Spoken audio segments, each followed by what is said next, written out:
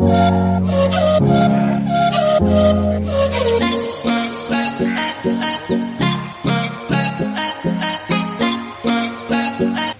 welcome to my new blog और अभी का टाइम हो रहा है सुबह के छः बज रहे हैं।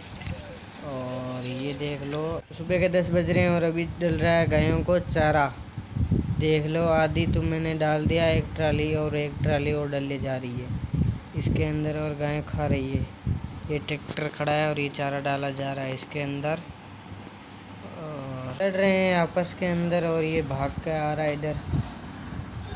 देख लो कैसे आ रहा है दौड़ के। दोपहर का समय है, एक बज रहा है अभी। इनके समय हो रहा है और तो आज के ब्लॉग के लिए इतना ही। मिलते हैं एक नए ब्लॉग के साथ। चैनल को सब्सक्राइब कर देना। ऐसी चाहे ज़िंदगी है। कर देना